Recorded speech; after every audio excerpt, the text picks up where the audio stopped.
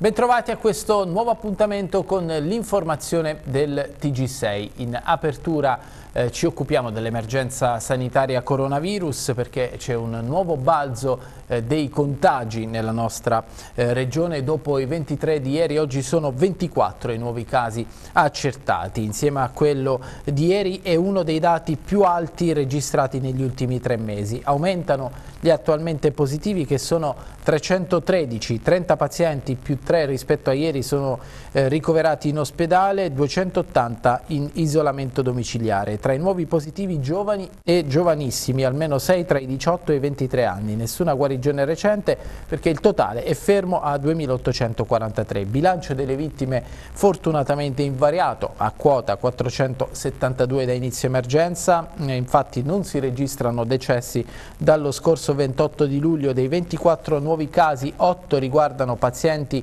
domiciliati o residenti in provincia dell'Aquila, 5 nel Chietino, 7 nel Pescarese, 3 nel Teramano e 1 fuori regione. 5 casi a Sulmona, 4 ad Ortona. Si tratta di eh, cosiddetti casi eh, start emersi da screening territoriale e non tra i contatti di persone già malate. Altre eh, due eh, ventenni sono positive in un paese del Teramano in cui era già emersa la positività di tre giovanissimi. Elemento eh, comune sarebbe una cena a cui avrebbero partecipato anche persone di altre regioni. Tra i più ehm, eh, giovani risultati positivi c'è anche un diciottenne di Pescara e dunque questi sono i dati e tra l'altro c'è l'appello del eh, professor Grimaldi, eh, che è il primario di malattie infettive dell'ospedale San Salvatore eh, dell'Aquila, eh, che dice per la prima volta in questi giorni le aree interne, finora poco colpite perché rispettose delle regole non mete di grandi traffici, stanno superando quelle costiere.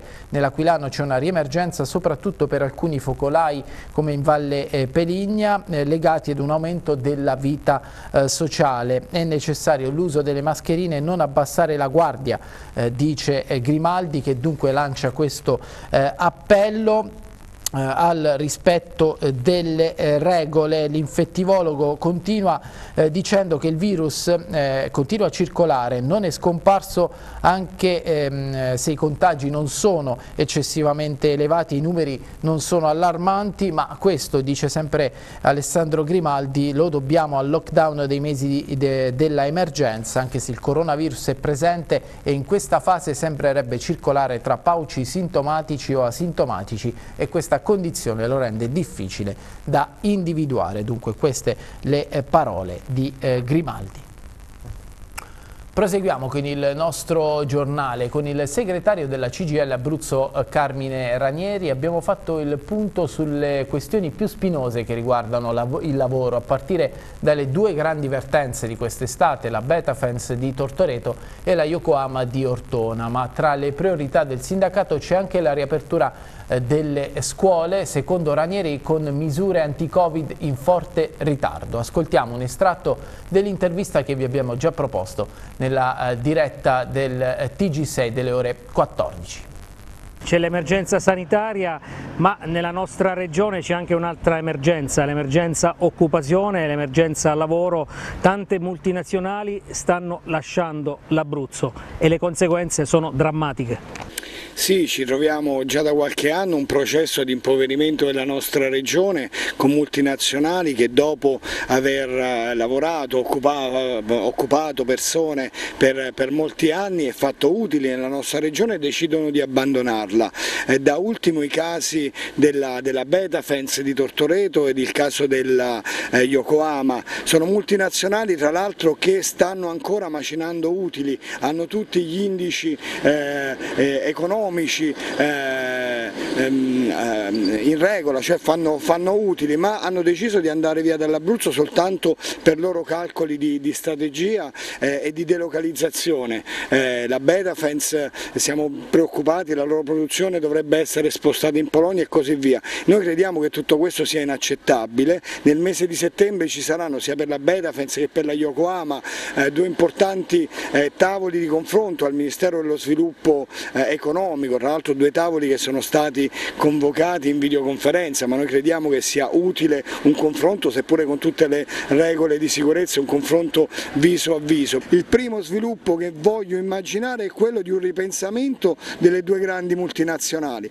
Questo è il primo passaggio, dopodiché la cosa importante è sempre che eh, non vi sia la chiusura degli stabilimenti produttivi, su questo il Ministero dello Sviluppo Economico, a partire dai, dai due interlocutori, cioè dalle proprietà, da, dal, dal, fondo di investimento eh, eh, di Betafens, sappiamo che Betafens fa parte del gruppo Presidium che a sua volta è gestito dal fondo di investimento Carline, e eh, stessa cosa per, le, per, la Yokohama, i due eh, eh, investitori decidano, ritornino sui propri passi e restino qui. Dopo eh, l'attivazione da parte sia del Ministero dello Sviluppo Economico che della Regione Abruzzo, del, del, dell'assessorato alle attività produttive a creare quelle condizioni perché vi sia sviluppo di queste realtà. Stanno arrivando eh, e possono arrivare tante risorse, risorse europee, risorse del Recovery Fund nella nostra regione, dobbiamo intercettarle e utilizzarle nella maniera migliore per creare un sistema, quello abruzzese, che è un sistema che ha fatto scuola anche negli ultimi anni, ricordiamo che comunque l'Abruzzo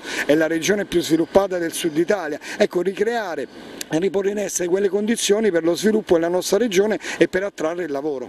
Tra eh, tre settimane usiamo il condizionale, dovrebbero riaprire le scuole anche nella nostra regione, in Abruzzo, in Molise e tutte le regioni del nostro paese.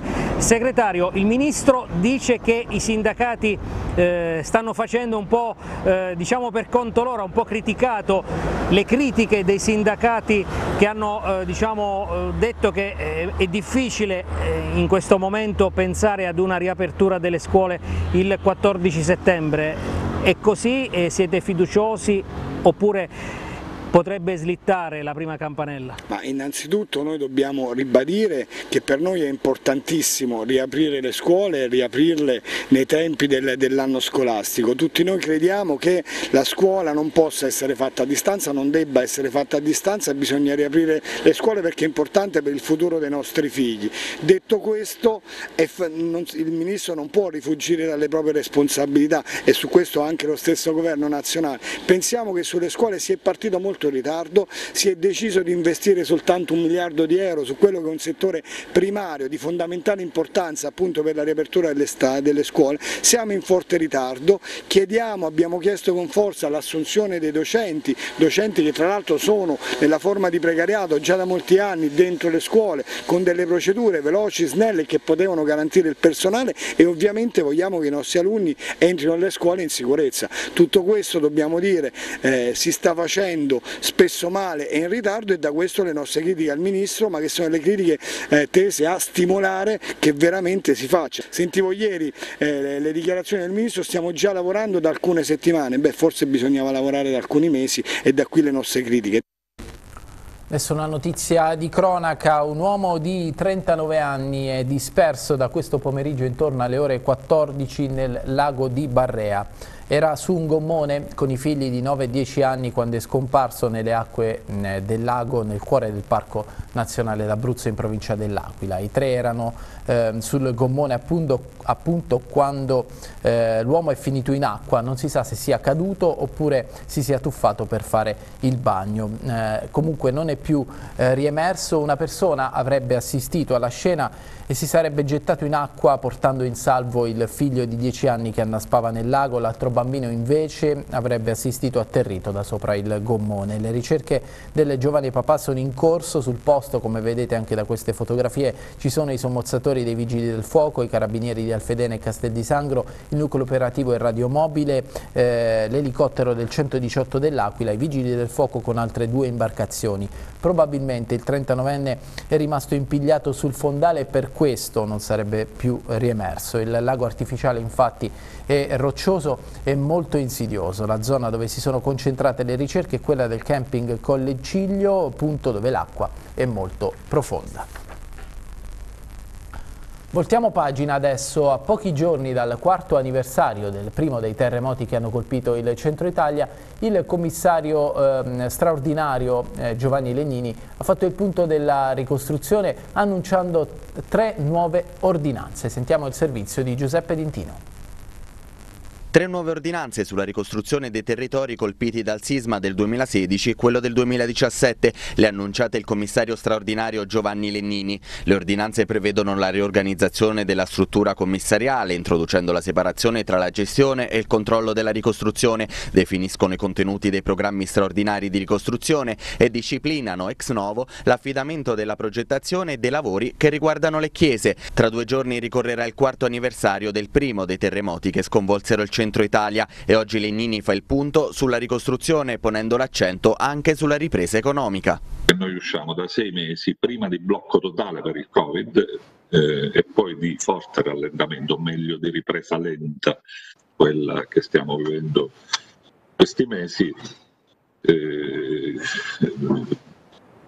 emergenza sanitaria che si aggiunge all'emergenza sismica post-sisma che ha eh, determinato una situazione di gravissima difficoltà per le, i cittadini e le imprese di, dei territori delle quattro regioni. Adesso definiamo i contenuti minimi, anzi i contenuti essenziali di questi programmi e soprattutto eh, variamo linee guida molto avanzate, molto innovative ben strutturate eh, che costituiscono un atto di cosiddetta soft law, di indicazioni ai, ai comuni, agli uffici speciali, eh, cui attenere per garantire un ordinato svolgimento della ricostruzione e una ehm, eh, qualità della ricostruzione dobbiamo smetterla di dire che c'è sempre qualcosa che, che, manca. No, ci sono le norme, ci sono le procedure, ci sono le risorse, ne serviranno altre di risorse e io ho già chiesto e chiederò insieme a tutti quanti voi, gli attori della ricostruzione, che eh, una quota del recovery fund sia destinato a rendere questi eh, eh, territori più attrattivi, a essere connessi, a realizzare paesi intelligenti, paesi, città sicuri e connessi. Se noi in questi territori nel ricostruire garantiremo sicurezza e connessione con infrastrutture materiali, le strade digitali, questi territori nei prossimi anni potranno guardare con maggiore fiducia al futuro. Si sono chiuse a mezzogiorno eh, le eh, liste ufficiali dei candidati in corsa alle prossime amministrative del 20 e 21 settembre per 61 comuni abruzzesi chiamati a rinnovare i propri consigli. Eh, sono oltre 187.000 i cittadini chiamati alle urne a fine settembre. Le sfide più importanti sono sicuramente quella eh, quelle di Chieti, 51.000 abitanti, unico comune capoluogo di provincia al voto nella nostra regione, e Avezzano che conta oltre 40.000 abitanti, unici due comuni tra l'altro in cui è previsto un eventuale turno di eh, ballottaggio il eh, 4 e 5 di ottobre. Comunque vediamo insieme i servizi che fanno il punto sulle amministrative di Chieti e poi sugli altri comuni. Il dado che determinerà il futuro di Chieti è oramai tratto, i giochi sono fatti per le amministrative del 20 e 21 settembre. Oggi a mezzogiorno infatti è scaduto il termine ultimo per la presentazione delle liste e si entra ora nella tranche finale della campagna elettorale. Sono cinque coloro che aspirano alla poltrona di sindaco del capoluogo teatino. Paolo De Cesare, 28 anni, è il più giovane tra i candidati, erede dell'importante impresa edile di famiglia, ha già ricoperto incarichi in ANCE e Confindustria e fa parte del Consiglio consiglio d'amministrazione del Marrucino. De Cesare sostenuto da quattro liste civiche. Luca Micone è il candidato del Movimento 5 Stelle, 40 anni e l'ideatore di una start-up nel campo paramedicale. Amicone è stato il primo dei pentastellati non eletti nelle scorse amministrative e può contare su una squadra completamente rinnovata perché i consiglieri grillini uscenti hanno scelto di non ricandidarsi. I 5 Stelle vanno avanti senza alleati. Il voto sulla piattaforma Rousseau, tramite cui i militanti del partito hanno aperto le porte ad alleanze territoriali infatti è giunto troppo tardi per rimettere tutto in discussione. Fabrizio Di Stefano, 55 anni, a detta dei sondaggisti sarebbe il candidato favorito. Viene da Tollo e fa politica da quando era solo un ragazzino. È stato eletto due volte in Parlamento e dopo essere stato glissato da Marsilio come candidato del centrodestra a presidente della regione è ora scelto come primo cittadino di Chieti da Lega, Fratelli d'Italia, Forza Italia, UDC e due liste civiche.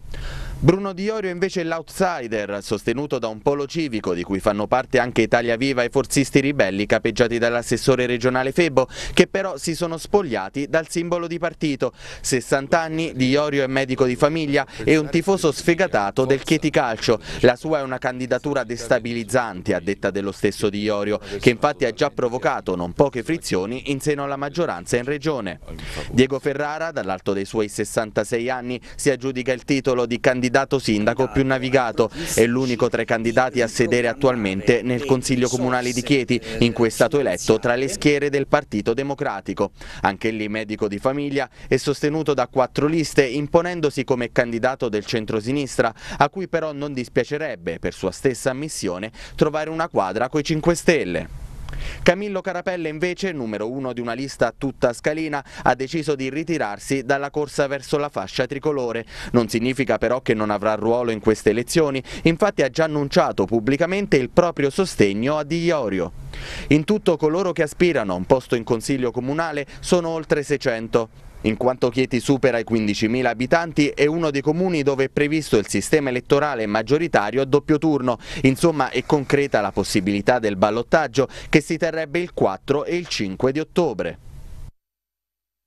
Tra i comuni non capoluogo di provincia in Abruzzo sicuramente la sfida più interessante è quella per la conquista del comune di Avezzano, commissariato da oltre un anno dopo la prematura caduta del sindaco di centrodestra, ora in Forza Italia, Gabriele De Angelis.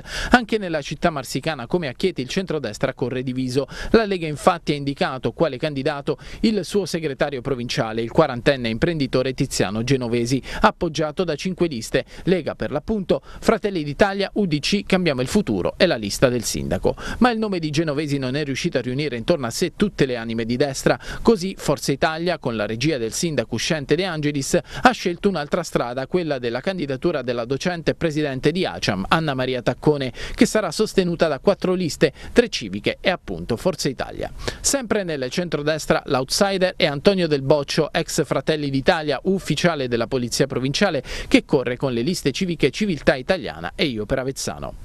Torna a correre per Palazzo di città anche Gianni Di Pangrazio con una proposta civica che guarda sia a destra che a sinistra. Già sindaco di Avezzano dal 2012 al 2017 cerca nuovamente la scalata alla fascia tricolore dopo essere stato sconfitto proprio da De Angelis nelle elezioni del 2017. Gianni Di Pangrazio, fratello dell'ex presidente del Consiglio regionale Giuseppe, sarà sostenuto da ben otto liste con numerosi ex amministratori ma anche esponenti del mondo delle professioni. Si tratta di Avezzano città territorio, Avezzano Avezzano Libera, Uniti per Avezzano, Riformisti per Avezzano, Azione Civica per Avezzano, Io sto con Avezzano, Patto per la Marsica e Avezzano al centro. Ma per la corsa a sindaco c'è anche l'ex consigliere comunale nella maggioranza di Di Pangrazio e poi all'opposizione Mario Babbo. Avvocato e rugbista tenterà la vittoria alla guida di ben sei liste, prime delle quali il Partito Democratico e la Renziana Avezzano Viva, più quattro civiche. Infine c'è il docente Nicola Stornelli che guiderà la lista Avezzano Bene Comune ispirata da Rifondazione Comunista e Potere al Popolo. La terza città al voto in ordine di importanza in base alla popolazione residente è sempre nella Marsica si tratta di Celano. Oltre 10.000 abitanti e governata da 20 anni dal centrodestra, è feudo dell'ex parlamentare prima in Forza Italia, poi nel PDL e poi passato all'NCD Filippo Piccone. Il sindaco uscente Settimio Santilli tenterà di ricevere il suo secondo mandato appoggiato da Lega, Forza Italia e Lista Cambiamo. Se la dovrà vedere con Giosualdo Ranalletta, imprenditore del settore del contact center, alla testa di una coalizione civica che sarà appoggiata anche dal centrosinistra e da dissidenti della Lega che non hanno gradito la ricandidatura di Santilli. Spostandoci in provincia di Chieti, la sfida più pesante è quella a Guardiagrele, circa 9.000 abitanti. Sarà una corsa a tre tra il primo cittadino uscente, Simone Dal Pozzo, avvocato di 46 anni di area di centrosinistra, a capo della lista Guardiagrele Il Bene in Comune, Donatello Di Prinzio, geometra di 52 anni, consigliere comunale di area di centrodestra, e Gianna Di Crescenzo con la lista Guardiagrele per tutti. In provincia di Teramo la sfida più attesa sinistra quella di Montorio Alvomano, comune con oltre 8.000 abitanti che torna al voto anticipato a causa della rovinosa caduta a maggio del sindaco di area di centrodestra Ennio Facciolini. A candidarsi è Eleonora Magno, appoggiata dal Partito Democratico, dal Partito Socialista e dai progressisti. Nel campo del centrosinistra pesca anche la civica di Alessandro Di Giambattista, ex sindaco. Il centrodestra a sorpresa si ricompatta dietro l'ex assessore della regione Lombardia Fabio Altitonante che ha deciso di essere della partita nel suo paese di origine. Dopo l'entrata in vigore del decreto che prevede in Italia l'obbligo della mascherina dalle 18 nei luoghi affollati, anche a Pescara verranno intensificati i controlli delle forze eh, dell'ordine, il capoluogo adriatico, un po' il cuore eh, della movida nella nostra regione. Vediamo il servizio di Paolo Renzetti. Sindaco Masci, controlli in città come in tutto il paese per quanto concerne ehm, la movida, le mascherine da indossare dalle 18 eh, fino alla mattina dopo, ma vogliamo spiegare bene eh, cosa significa e, e, questi controlli a cosa devono portare perché c'è anche un po' di confusione in molti cittadini. Sì, noi ci troviamo in una fase delicatissima, dopo i tre mesi di lockdown abbiamo avuto un periodo in cui il contagio si è abbassato, drasticamente ridotto, quasi azzerato e in qualche modo abbiamo allentato quelle che erano le precauzioni. Oggi che sembrerebbe tornare in qualche modo il virus anche per i contagi di persone che, che vengono da fuori o che tornano dalle vacanze, è il caso di stare attenti. Questo non vuol dire allarme, vuol dire allerta, vuol dire utilizzare i dispositivi di protezione individuale, mettere in campo quelle precauzioni minime ma che servono per tenere lontano il contagio da noi, quindi mascherine da indossare quando i rapporti sono troppo ravvicinati, il distanziamento fisico e sociale, la pulizia che è fondamentale e tutte queste precauzioni devono essere messe in campo proprio per evitare che il virus possa tornare e possano esserci delle espansioni di contagio. Noi per quanto riguarda l'amministrazione comunale abbiamo cominciato anche un'opera di prevenzione, ci sono delle macchine con altoparlanti che avvertono i cittadini e informano i cittadini sui comportamenti da mantenere, poi il Comitato per la sicurezza pubblica presieduto dal prefetto con il questore, con il sindaco e con tutte le forze dell'ordine ha deciso di intensificare i controlli eh, dalle 6 del pomeriggio in poi come prevede il decreto del Ministro della Salute e quindi in questi giorni ci saranno sicuramente più controlli soprattutto nelle zone in cui è più facile l'assembramento, quindi parliamo delle riviere, parliamo della zona della Movida di via Cesare Battisti, di piazza Salotto, eh, di piazza Musi, parliamo della zona del centro storico, ecco insomma tutte le zone dove c'è la potenzialità di un assembramento, ci saranno i controlli, quindi mi raccomando indossate le mascherine perché un controllo potrà comportare una sanzione anche di 400 euro, quindi manteniamo i comportamenti basici per evitare contagi e per evitare sanzioni, perché così sicuramente possiamo vivere più serenamente, più tranquillamente e tenere lontano il virus.